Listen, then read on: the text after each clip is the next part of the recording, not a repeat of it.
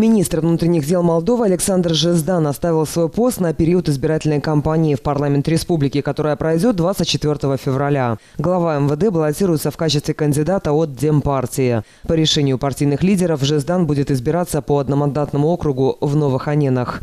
Конкуренцию ему составят кандидаты Александр Мацаринот, пропрезидентской партии социалистов, и судья Георгий Балан, представляющий избирательный блок АКУМ, который образовали оппозиционные непарламентские партии «Платформа достоинства и правда» и «Действие и солидарность». Полномочия действующих членов молдавского правительства на время избирательной кампании временно возлагаются на генеральных секретарей министерств. Всего партия власти планирует делегировать в законодательное собрание пять министров. Глава Минобразования Моника Бабук баллотируется в одномандатном округе номер 22 в Еловинах. Она, так же как и министр здравоохранения Сильвия Раду, значится в избирательном списке Демпартии. Глава Минсельхоза Николай Чубук баллотируется в одномандатном округе номер 13 в Резине, а глава Минэкономики Кирилл Габурич в округе номер 31 в Кишиневе. В партийные списки претендентов ДПМ на депутатский мандат вошли вице-премьер по реинтеграции Кристина Лесник и премьер-министр Павел Филипп. Он в соответствии с действующим законодательством продолжит свою работу на посту руководителя правительства.